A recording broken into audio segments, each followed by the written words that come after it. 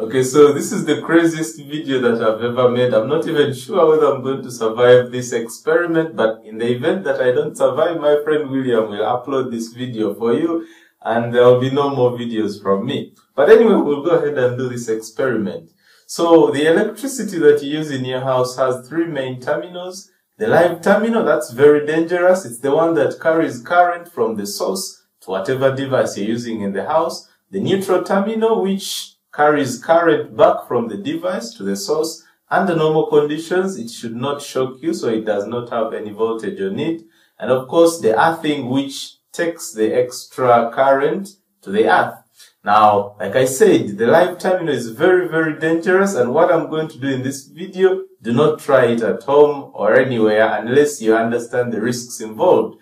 I'm going to touch the live wire of this electricity which carries voltage, okay? And uh, I want to see what happens and uh, so let's get into the experiment. I'm going to touch the live wire of a 240 volt power supply.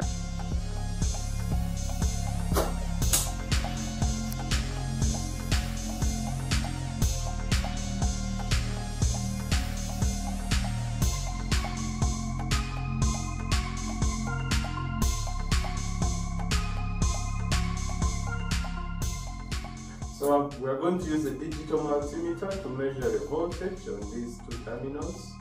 That's 210 volts, 210 volts on these two terminals. And now this is the moment of truth. So I have a tester here. So doesn't show anything. This is the neutral wire, as you can see. So nothing here. And then we have this which is the live terminal. See, so there is voltage on this terminal. Remember, this is 210 volts. We've just measured this. Okay, I repeat, do not do this at home.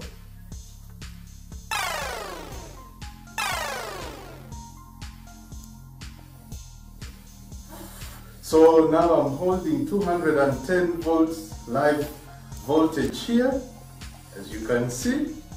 And uh, if I just use this tester to put on myself you can see it does not light because my whole body is now at the same potential of 210 volts.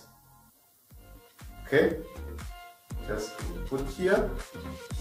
No voltage because the potential difference is the same. Okay? And now I let go and now you can see it's showing the voltage again okay and now I'm going to explain to you why I'm not shocked when I hold this 210 volt uh, terminal Okay, so this is the trick that I used. As you can see, I'm putting on safety boots which have an insulating sole. I have to let you know that electricity flows from high potential to low potential, just like water flows from a high altitude to a low altitude. And for this electricity to flow, there must be a conducting path. Now, by putting on these insulating safety boots, I blocked that path. So even when I held the live wire with my hands, current could not flow through me to the ground. Remember, the only thing that will shock you is not the electric voltage, but the electric current that passes through you and causes electrocution. So the insulating boots did not allow current to flow through me and so I was able to survive this deadly experiment.